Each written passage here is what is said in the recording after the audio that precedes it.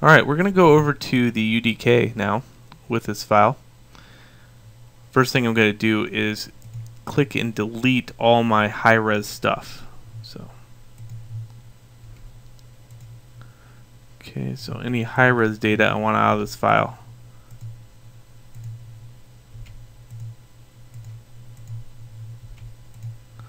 Okay, I just want my cement block, the low poly variation. It must have the texture assigned to it.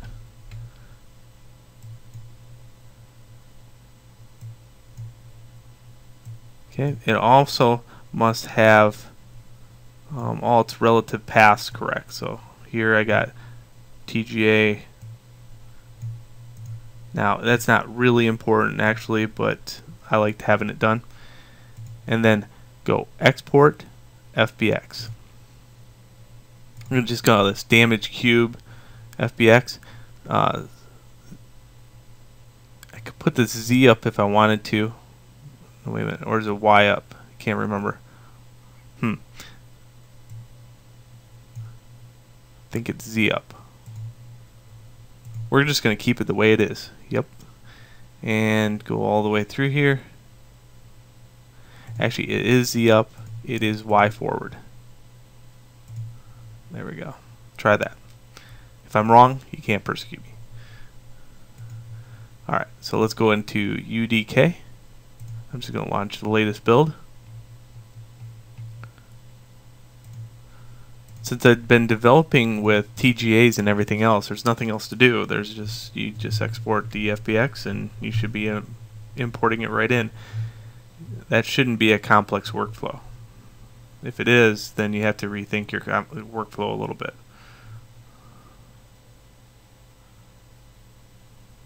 All the hard stuff should be in development. All the easy stuff should be just placing it within the engine and just moving it around.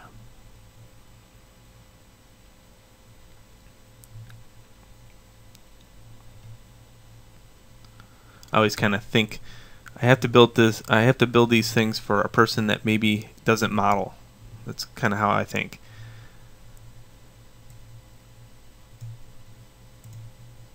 So import, even though that's probably the furthest thing from reality, but uh, if I make it for a person that doesn't understand anything and just wants to move it around,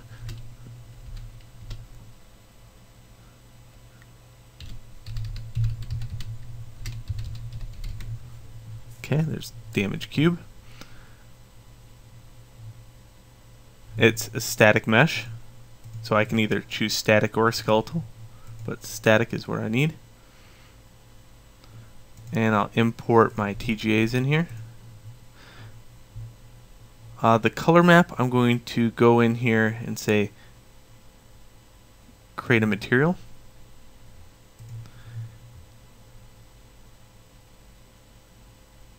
And for the other one,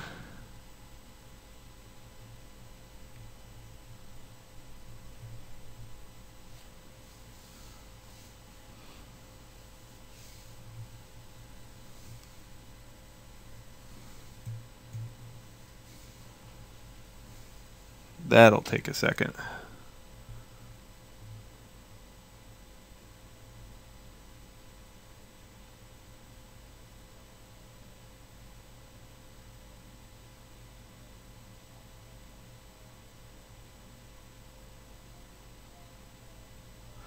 And for the other one, the normal map, I'm going to drop this down to normal map.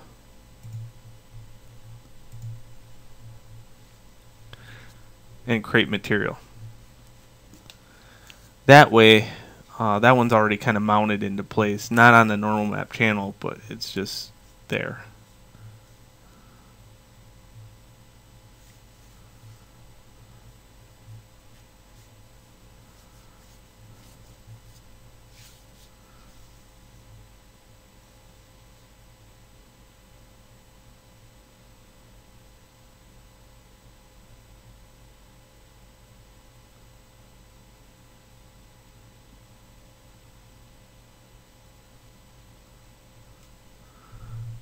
Okay, I'll double click the material. And uh, there's my diffuse channel, it's already in there. And it looked like it made two, that'll work. So here's my texture material. I type in texture sample over here.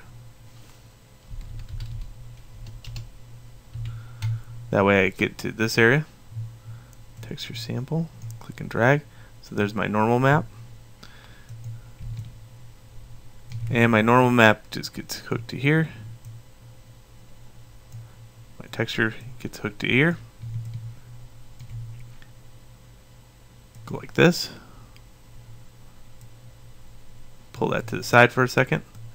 Double click my mesh. So I was wrong. it's sideways. so uh, remember I had put a disclaimer out there.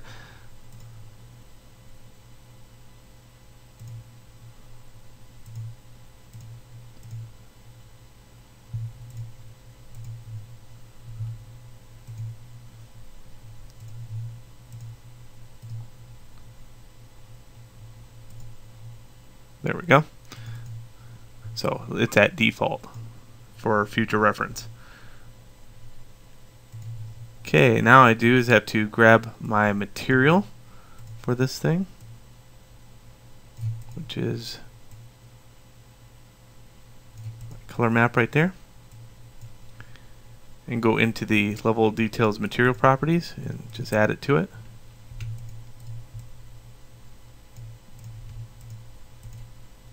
I don't want it blue, but it's just um, it's being highlighted right now. So I'm just going to close this out real quick and go back into it. There it goes. Ooh, not bad. Very sweet. Wow, very cool. Okay, so now uh, some collision. That's just a 6D collision. Just like that. I don't think you want to stand on top of it with those screws sticking out. Close that out. Here's my in-game. So I'm just going to add the damage cube. Scale it up some. And we'll get a preview of it.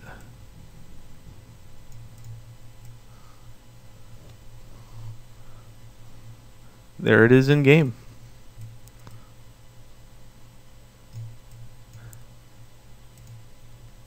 Build my lighting, and I'm going to put it on production.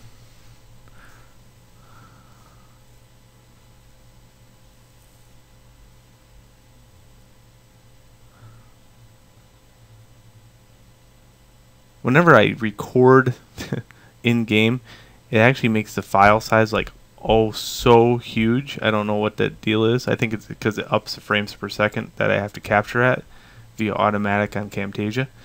So I'm going to leave it at the light mass variation of this and um, we'll look at that. That's going to be the in-game variation rather than jump in and with the gun and anything else. So the light mass is going to take and just make this physically adapted to the world with the color variation from the sky and everything.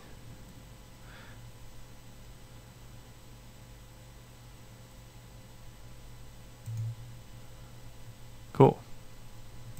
So not much change, but wow, look at that detail. Good stuff.